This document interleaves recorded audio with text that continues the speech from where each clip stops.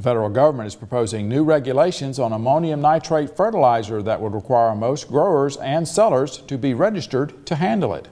Artists, for those unfamiliar with ammonium nitrate, it's a common source of nitrogen fertilizer for gardeners and farmers. It's also explosive when used improperly. Bomber Timothy McVeigh used two tons of it to blow up a U.S. government building in Oklahoma City in 1995.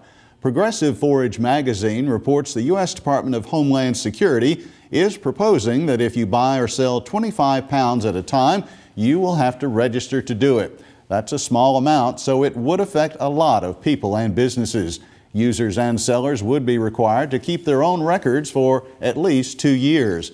Some handlers would also be required to report to federal authorities any theft of ammonium nitrate with 24 hours of discovering it. Other countries, including Germany, Colombia, Ireland, and China, have banned sales of ammonium nitrate.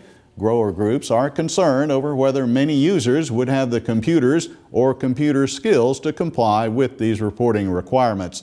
The 120 day public comment period on the proposed regulations ends in early December.